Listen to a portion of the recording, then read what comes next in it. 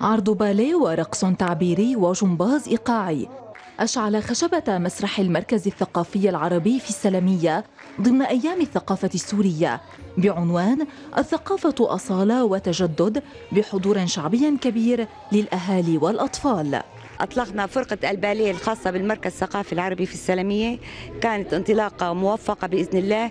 كانت العروض رائعة. تضمنت الفرقة حوالي 21 آه، راقصة تتراوح أعمارهم بين الأربع سنوات وال 15 عاما. آه، فعالية كانت جميلة جدا. إلى مزيد من التألق إلى مزيد من النجاح.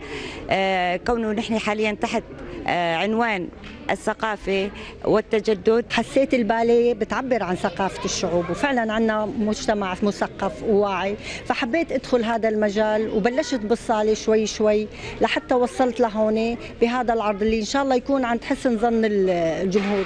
وبيعبر كمان عن مستوى بسلمية فعلا في وعي في رقي. حبيت إنه ادخل أو أعبر أو طلع هاي الصورة لهالبلد لهالمدينة الراقية بهذا العرض الحلو. العرض الذي رافقته الموسيقى الكلاسيكية المتنوعة. تضمن عدة فقرات لفرقة المركز الثقافي اتصفت بالرقي والتقنيات العالية واللياقة بالإضافة لاختيار الأزياء المميزة. وتم تقديم الهدايا للفرقة تعبيراً عن الشكر لرسم هذه اللوحة الفنية الراقصة على خشبة المسرح.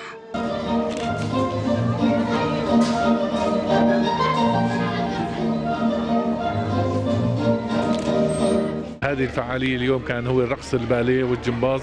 آه، شفنا يعني عودة الحياة فعلا إلى إلى سوريا من خلال هيك فعاليات. عودة الفرح للأطفال مثل آه، كان الفرح بيعم بكل المركز الثقافي من خلال هالفعالية اليوم.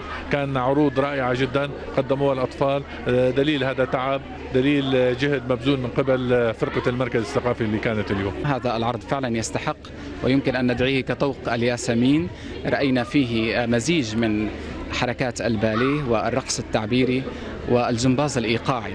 يستطيع نستطيع المشاهد من خلاله أن يتابع آه، أو يعبر عن عواطفه وأفكاره وشعوره. ونعبر أيضا من خلاله آه، إلى وعي ثقافي فني وجمالي آه، يمكن أن يعني يسهم في إنضاج وعي المتلقي وذوقه العام.